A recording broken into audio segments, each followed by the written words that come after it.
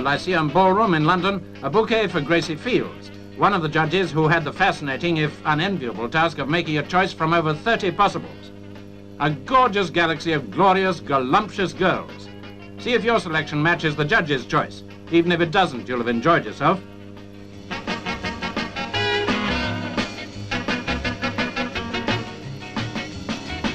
Italy's Raffaella de Carolis prefers roast beef to spaghetti.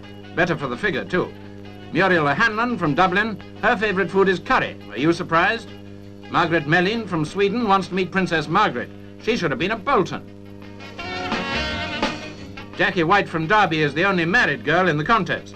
Regretfully, therefore, we turn to um, our Miss Canada, 19-year-old Marlene Leeson from Ontario. 20-year-old Chris Leon from Jamaica hopes one day to be a singer. Miss India, Feriel Karim, wants to be a great actress. Fae-Ja Chung from Korea, a studious girl and she cooks, too good to be true. The judges were able to whittle it down to 15 possibles. Belgium's Christine Delit won her first title 22 years ago as the most beautiful baby. She still is. Miss Denmark wants to become a top model, and why not?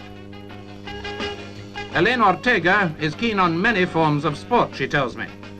And so to the finalists and the judge's choice for fifth place, Teruko Ikeda from Japan. And in fourth place, Yvonne Ficker from South Africa.